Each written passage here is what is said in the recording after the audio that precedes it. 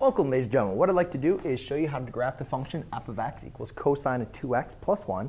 And when we're graphing our trigonometric functions, the main important things we want to do is identify what are, what are going to be our transformations, and then also identify our characteristics, um, such as our amplitude, period, x scale, phase shift, and vertical transformation. So the first thing we need to do is understand, you know, what exactly is changed with this function from our parent graph. So we write in our kind of transformation function, which is a times cosine of bx minus c plus d, where a, b, c, and d are all going to be our different transformations. And what we can see is we have a coefficient of x, which would be our b, and we have a d, which would be a 1.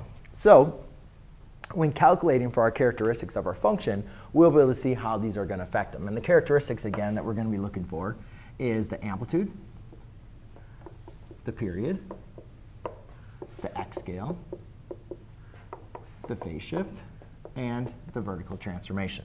So to determine the amplitude, all we're simply going to do is take the absolute value of a. Well, you can see in this, in this case, for our formula, we don't have an a, right? There's, I mean, we do. It's a 1, right, being multiplied by our cosine. So therefore, it's absolute value of 1, which is just 1.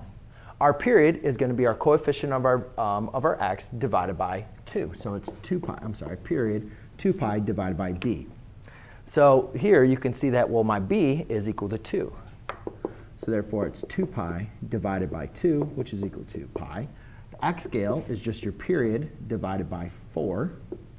So in this case, that's going to be pi divided by 4.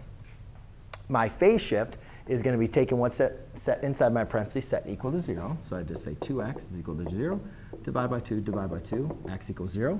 And my phase shift is going to equal to d, which in this case is 1. Now, to kind of quickly go over all this information again, amplitude is going to be the half distance from my maximum to my minimum of my graph. The period is going to be how long it takes the graph to repeat its cycle. The x scale is going to be the distance between each and every important part of the cosine graph, which is our max, x-intercepts, minimum, um, and x-intercept. Phase shift is going to be if we're going to be shifting the graph left or right from the initial period along the horizontal axis, and vertical transformation would be will be shifting it up or down um, based from the initial period. So when graphing this, I always like to start at my phase shift, determine, you know, because um, when we look at the initial period, we start at zero um, for the cosine graph. So if we're shifting it left or right, start at that new value. But you can see here, there is no phase shift. I'm starting again back at zero.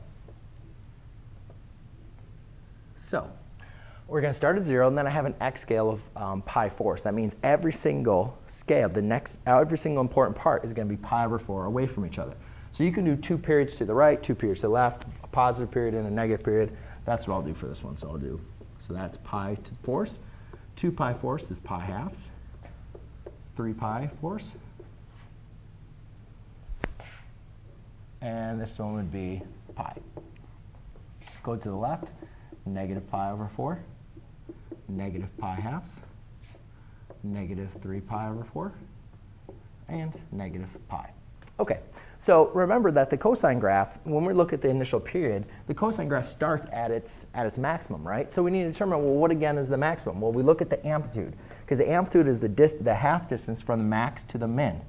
All right, so therefore, since my amplitude is 1, that's the same as the parent graph. That's going to go up 1 and down to negative 1. Um, and now that's all the information I have. I start at my maximum for cosine. The next one is I go to my intercept, minimum, intercept, maximum. So therefore my graph is going to look something like this. Okay?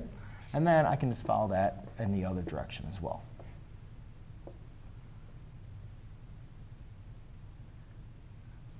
And there you go, ladies and gentlemen. That is how you graph code f of x equals cosine of 2x plus 1. Thanks.